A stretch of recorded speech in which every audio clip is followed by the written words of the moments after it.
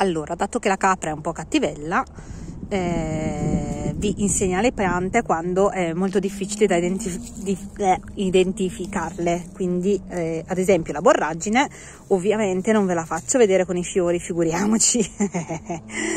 Eh, ve la faccio vedere adesso in febbraio quando è difficile da identificare perché comunque mi serve per farvi un discorso importante, cioè che comunque ogni pianta per essere identificata con certezza, a parte guardarla per tutto il periodo vegetativo come vi ho detto più di una volta, bisogna guardare gli elementi caratteristici che ha.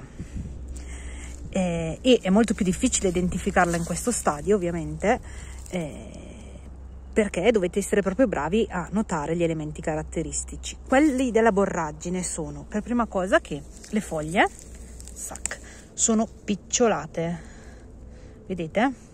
Vabbè, qua ne ho strappato un pezzo di picciolo, però sono picciolate. Poi hanno una forma mm, eh, ovale, ok? Hanno un margine che è ondulato, infatti vedete che non riesco a tenerla, eh, vorrei farvela vedere mh, mm, bella dritta sullo stesso piano, non ce la faccio perché è proprio ondulata la foglia, vedete? Il margine è leggermente dentato e ha questa nervatura in rilievo. Guardate anche dietro come si nota bene la nervatura, ok? Poi vabbè ha dei peletti come le borraginacee, la foglia è piuttosto coriacea, sempre come le borraginacee e eh, ehm, anche solo l'odore adesso che l'ho strappata è un po' di cetriolo.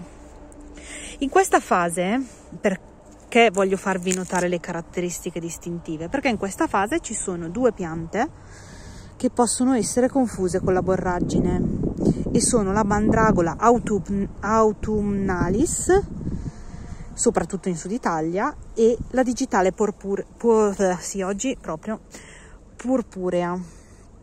La mandragola mh, mm, si riconosce perché ha un eh, reticolo eh, rugoso, quindi ricorda tantissimo, però qua in mezzo c'è una nervatura bianca molto spessa, cosa che invece la foglia di borragine non ha. Vedete che non c'è la nervatura bianca? E invece se io adesso avessi in mano la foglia di mandragola eh, autum, autumnalis, ce la posso fare, qua in mezzo noterei una nervatura bianca molto in rilievo. Quindi mi raccomando, ricordatevi i tratti distintivi e anche le piante che assomigliano a una pianta. Eh, invece la digitale ehm, oddio, eh, la digitale purpure in questa fase assomiglia tantissimo. Le foglie però non sono così appuntite, quelle della borragine sono, finiscono proprio a punta e non ha questo, mm, questo, odore e sapore di cetriolo, è molto amara la digitale, quindi se per caso per sbaglio raccogliete una pianta, vi sembra borragine, l'assaggiate è amara, attenzione, non è borragine, perché la borragine cruda sa di cetriolo. Ecco. Se mangiate un pezzettino di foglia non succede niente, sentite che è amara, buttatela via immediatamente. Ecco qua quindi questa qua è una rosetta di borragine una rosetta che ha subito un po' il gelo. Adesso col coltello la taglierò e ci faccio la frittata stasera. Guardate qua qua c'è altra borragine. C'è pieno di, di stellaria media e borragine.